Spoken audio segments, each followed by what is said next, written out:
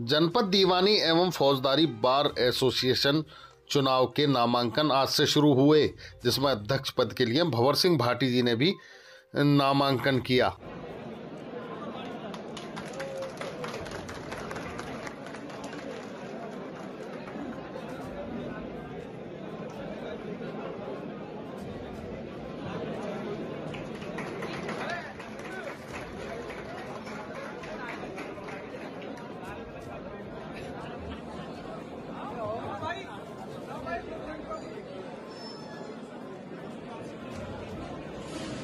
भंवर सिंह भाटी जी, आपके क्या मुद्दे हैं?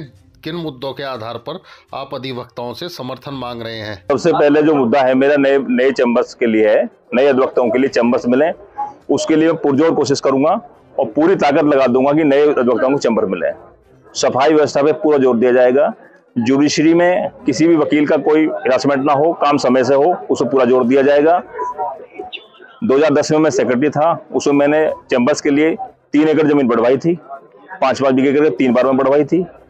और चैम्बर्स के लिए मेरे फंड के लिए भी मैंने सरकार से अपील की थी कि उसमें जो अथॉरिटी से चैम्बर्स बनवाई जाए उसमें मैंने एप्लीकेशन वगैरह दी थी सारी चीज़ दी थी। आज की तारीख में पाँच एकड़ ज़मीन है जबकि वो दो एकड़ ज़मीन थी उससे पहले।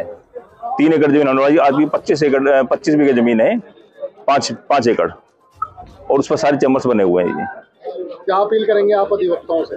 अधिवक्ताओं से अपील करेंगे कि वो सही निर्णय अपना लें जो भी अधिवक्ताओं के काम आ सके। जो भी कैंडिडेट उनके अच्छे से काम आ सके, उसी को उसी को वोटिंग करें। मेरी यही अपील, उनसे अपील है भैया। तो जो है, अधिवक्ता करेंगे कि वो किसको आगे करते हैं, किसको पीछे करते हैं। मैं तो फ़र्स्ट नंबर पे अपने आप को ही मान रहा हूँ। बाकी सेकंड नंबर कौन रहेगा, ये हमारे अधिवक्ता तय करेंगे। अच्छा चैम्बर का जो मुद्दा है, वो लंबे समय से चला रहा है। जी। तो कैसे सॉल्व होगा वो मल्टी स्टोरी बिल्डिंग बनेगी या मैं अभी बता के आपको हटाऊं कि मैं चैम्बर से पहले से जुड़ा हुआ हूँ। 2010 में मैं सेक्रेटरी था मैं तब से जुड़ा हुआ हूँ। तीन एकड़ ज़मीन मैंने चैम्बर्स के लिए बनवाई है बढ़ा बढ़वाई थी। दो एकड़ ज़मीन थी जो तीन एकड़ ज़मीन बढ़ करवाई है।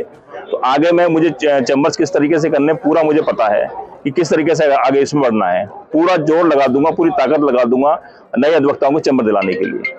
मेरा पूरा फोकस रहेगा कि जो करप्शन अधिकारी हो करप्ट अधिकारी हो उसको मैं पुरजोर उसका विरोध करूँगा और हमारे अधिवक्ताओं का समय से काम हो, हर जजेस जो है समय से अपनी सीट पर बैठे, दस बजे बैठे, पाँच बजे तक काम करें, कोई भी किसी तरीके से किसी हिरासमेंट ना करे, वहाँ ऐसा ना होगा, भीड़ लगा रहे और मिसलेस बढ़ता रहे तो उसको पूरा ध्यान रखा जाएगा भैया।